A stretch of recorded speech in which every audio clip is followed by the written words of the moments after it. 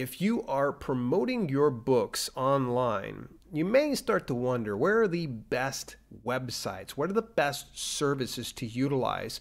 And what are the ones that you're going to want to avoid? Well, we can talk about the ones uh, that we should avoid, but uh, let's focus today on the ones that we can definitely trust, that are vetted, they have credibility, they have some authority, and they have a track record.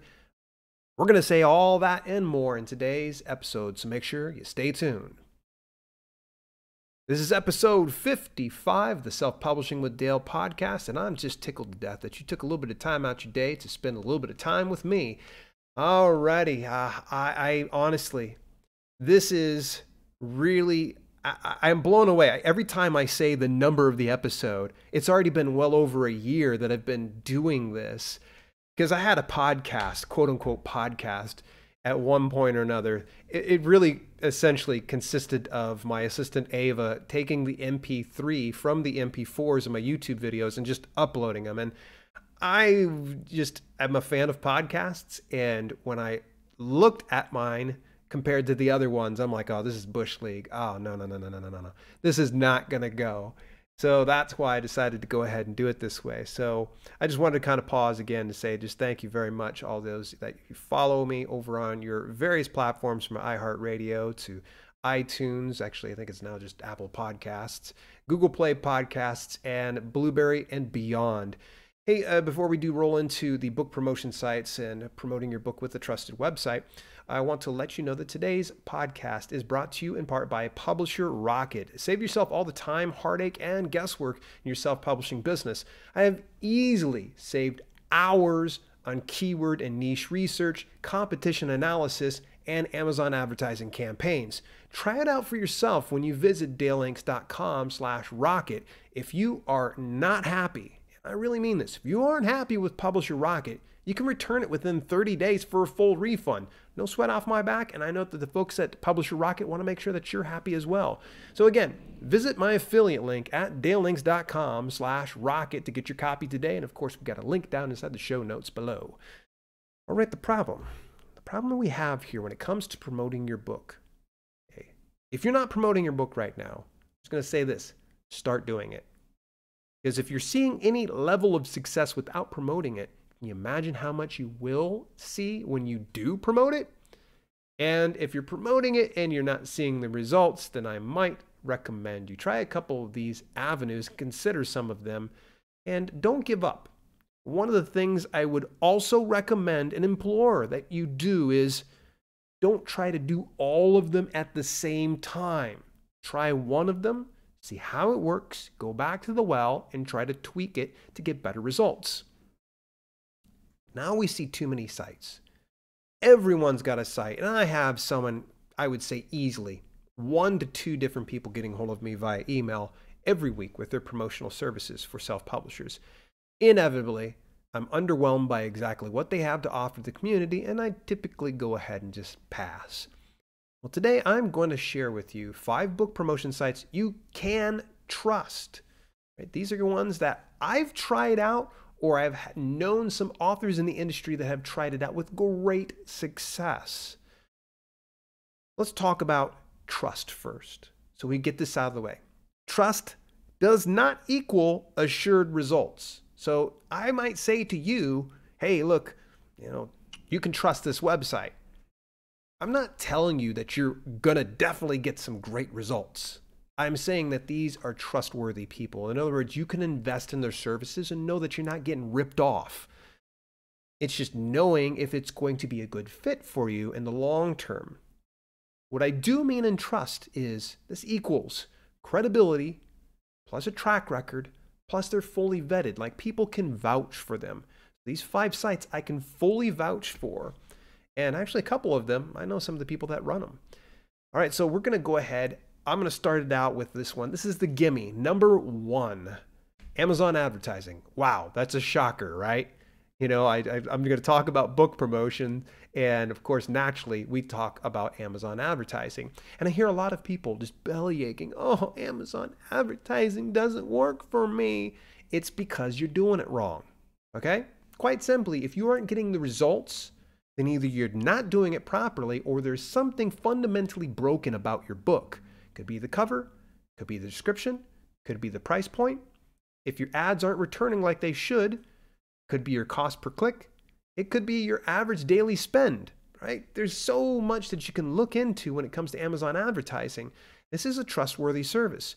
Now, rest assured, if something goes wrong, the nice thing is they actually have a report button inside your dashboard that you can get a hold of them. So this was probably a few years ago. I had something go wrong to where I think like an ad was supposed to be paused or it, it had a certain daily limit on it and it went well above that. So I got a hold of them. They saw the discrepancy. They credited my account. All right. So that means I got to advertise for free, even though they kind of let everything kind of go. And they gave me a $25 credit. Hello. That's nice. That's like free friggin' money. And so I'm just telling you that, yes, Amazon wants your money. That's why they have Amazon advertising. But they also want you to sell more books because if you sell more books, they make more money. And if you use Amazon advertising, they're going to make more money and then you sell more books, so on and so forth. It's just knowing how to utilize that avenue. Number two, this one's a, a really, this is an old school one and actually one of the my very first sponsor of self publishing with Dale, and that is Book Doggy. And Book Doggy actually is run uh, by none other than the illustrious uh, uh, Martin Crosby. Martin, Crosby, I've almost lost his, his name for a second there. Martin is actually a longtime friend here of the channel, and he had actually put together Book Doggy to help out other indie authors. And he um, runs this service for free to discounted books and primarily ebooks. So you're not looking at print books or audiobooks for this particular service. And it's dirt cheap to run the service, and it comes very well recommended. In fact, one of the resources I'm going to discuss later on even puts it on their list. And I think it might need updating since then, but they run on an email newsletter. So readers will subscribe to the email newsletter. And then when you run a promotion with BookDoggy, they send it out to their email subscribers. Now, according to the Reedsy post, I've kind of spoiled a little bit of the, re- the resources I'll be talking about. Uh, and the Reedsy post, they say they have about 20,000 email subscribers. Now, I think that it actually is considerably more since that post. So um, I can't be 100% certain. I'd have to double check with Martin, but 20,000 readers, which is ridiculous volumes of people. And the nice thing is with this particular service, you don't end up investing thousands or hundreds of dollars into it. I think like a promotion runs like 12 bucks. I think they have like a more expensive service that they have involved in it. But I can tell you this that Martin is straight as an arrow, a good dude, and someone who wants to help see you succeed. Now, just a heads up your book is hit, right? If the cover looks bad, if the description's really poor, they may not accept you for a promotion. So don't take offense to it if they say, mm, nah. And that, that goes for any of these services as well. Don't, don't take offense to it. If somebody says your, your book covers hit, you might want to go ahead and fix that. Just wanted to kind of get that one out of the way. Number three, number three is Indies Unlimited. Now, this is a free resource, free resource. If I can recall, according to the Reedsy article that I had uh, dug out, they have like 60,000 average monthly uh, visitors, unique visitors. So that right there is pretty freaking cool. Now, it's not an email newsletter that I know of. It is just a website, and it's very deep, has a lot of great resources, free courses for indie authors. Definitely look into Indie, Indies Unlimited. I'd actually met the owner of it and the founder and her and she actually runs it with the other people. It's a nonprofit organization to my recollection. Her name is uh, gosh kat brooks i believe. I'd actually interviewed her once over on self-publishing with dale some time ago. She's been in the business for a few decades longer than a cup of coffee and she wants to make sure she helps you folks out when it comes to getting some of your books promoted and eh, free service. You can't beat that with a stick there's really nothing that you need to be like distrustful over with with this particular site because they're there for you.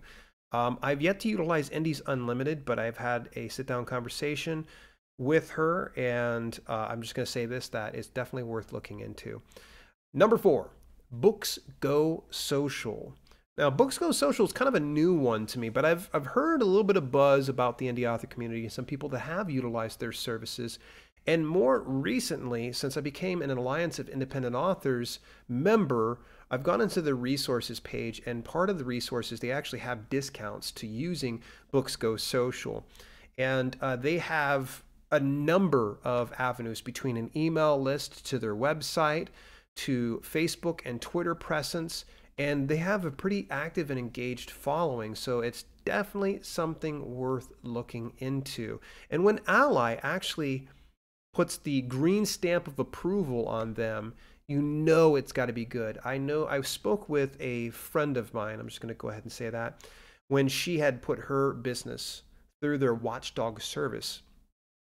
She said it was the most thorough process she ever went through. She said it was tough to actually get an approval rating because they you have to pass specific um, a specific bullet point or checklist in order for ALLi to give you that green stamp of approval. So Books Go Social definitely probably had to work for that. And it's not like someone can just go down and plunk down $1,000 and say, hey, well, just give me a green stamp of approval. Yeah, the folks over at ALLi just cannot be bribed. Um, it's just not even worth trying. So, Books Go Social, definitely one to take a look at. Now, I've got a fifth one, but before we do break into the fifth one, understand that I'm actually going to give you some resources here.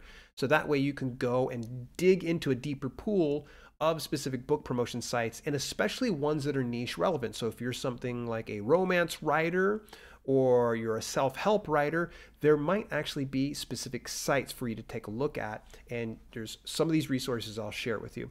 Number five, this one's the biggest and baddest one on the market. And baddest meaning like cool, like the cool kid on the block. And it is BookBub. BookBub is absolutely gigantic and there is two ways you can utilize BookBub. Now, one of them is through PPC ad campaigns, and that meaning that you you run an ad with them and you pay per click for them.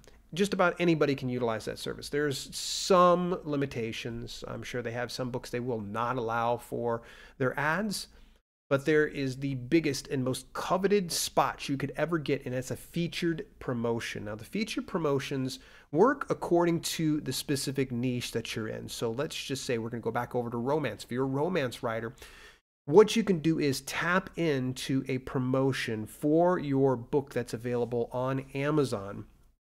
And if your book's for free, you pay X amount of dollars. If it's at 99 cents or say 2.99, it's even more money as far as an investment.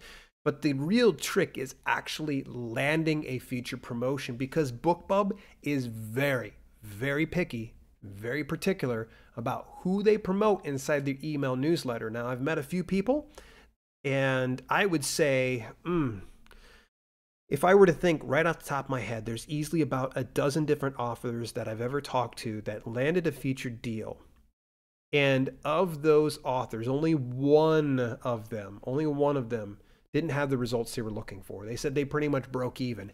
Everyone else that ran a BookBub featured promotion said they made their money back and some, and they grew their email newsletter. This tells you how massive and how influential BookBub is and uh, it's it's no surprise they've been around for quite a while. They came around the Kindle Gold Rush of like say I think it was 2013ish, could have been a little bit earlier. I know Paul Rega, former uh, guest of the channel, was just telling me about all the stuff that he had to go through to land his feature promotion deal. And when he did that, he was able to hit the top 100 inside the Amazon overall Amazon store, which is incredible. You have to be having hundreds, if not thousands, of downloads in the course of a day in order to hit that top 100 list. So, BookBub is the most trustworthy uh, avenue you can definitely look into. Uh, good luck if you try to apply for one of these featured promotions and you get turned down. Don't take offense to it. They turn down more people than they accept. But what I would recommend is study from people that have been that path. I know David Gaughran actually has a um, book about BookBub ads. Pick that one up. I heard a couple people swear by it. They said it's fantastic. I have yet to pick it up and read it. I know David uh, does some really good work uh, inside the indie author community, so it's definitely worth looking into. Hey, just a really quick plug uh, when it comes to YouTube. Join me every Saturday at 12 p.m. Eastern Daytime at dalelinks.com slash live, where I go live broadcasts. And also, you're listening to this podcast right now.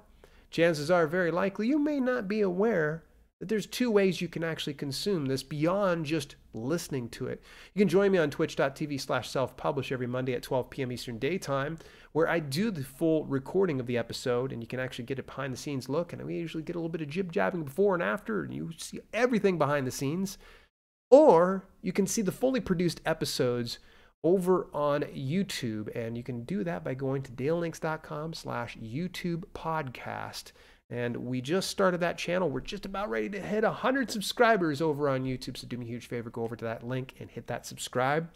And you can actually catch up on some of the older podcasts. I'm kind of pumping them out about twice per week. So we get a little bit caught up. I imagine we'll get caught up on all the episodes come a little bit closer to about August to September time. So that way, when I record one episode, it will be on the very next week. So, all right, final tip I told you I was going to give you some resources, and that is going to be the full list of sites.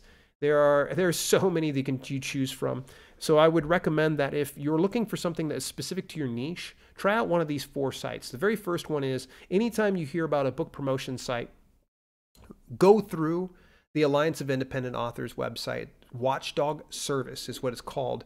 And the Watchdog Service is pretty much a gentleman uh, run by a gentleman his name's john doppler and i imagine john actually has a few helpers. They go through and they make sure specific sites have a certain criteria that they're supposed to meet. And a something that is guided by ALLi's code of ethics to make sure that it's going to be good for you and that they're trusted. And if you for some reason don't see a service on their watchdog service list you can actually put in a request. I've done a couple of requests with them. It does take a while for them to get to it because obviously they want to make sure they're doing their due diligence before they put somebody on their list. And whether it's good or bad, it's always a good idea to go and run through those book promotions. That's dalelinks.com slash watchdog. And by the way, I'm going to have this all in the show notes. Reedsy, I had already told you a little bit about Reedsy. Reedsy actually has a deep list of book promotion sites, a lot of them very niche specific. You can go over to dalelinks.com slash Reedsy promo. By the way, Reedsy is spelled R-E-E-D-S-Y. So that's dalelinks.com slash Reedsy promo. It is really cool. They actually have a search feature and everything else. And Reedsy is the... Um, is a great resource. I actually worked with them previously. They had actually done a guest blog post for me and I don't think they're going to get behind any website or keep a website on their list if it's not on the up and up. Next one is going to be TCK Publishing. That's Tom Corson Knowles. He's one of the OGs of the modern day self publishing model.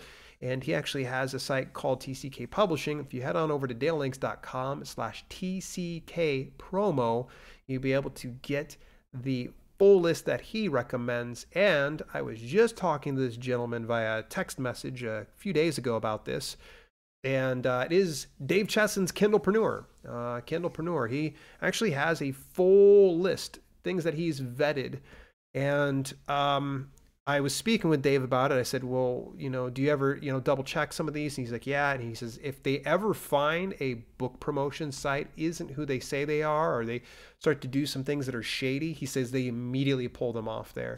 Um, but they try to do their due diligence and make sure they're putting book promotion websites that they can stand behind. You can go over to Dave Chesson's Kindlepreneur by dalelinks.com slash Dave promo. So hit up my boy Dave on over there. By the way, each one of these resource lists are not affiliates. They, these are just 100% free. I get no kickback for sending you on over to there. I just want to make sure that you're equipped with as much of these promotional websites that we trust as possible. I always recommend double back around to the ALLi Watchdog list. Even if you went through Reedsy or TCK or Kindlepreneur, double check it on over there before you invest in someone's services. Well, as we start to wrap up today's podcast, I just want to say thank you again. And of course, subscribe or follow me on your preferred podcasting platform. And do me a favor, leave a little review. And especially if you listen on Apple, um, or Google Play podcasts, any number of those, you can leave that review. And I actually get it uh, through a service called Chartable. Chartable tells me when I get some reviews. In the meantime, between time, this has been Self Publishing with Dale, and I will chat with you next week.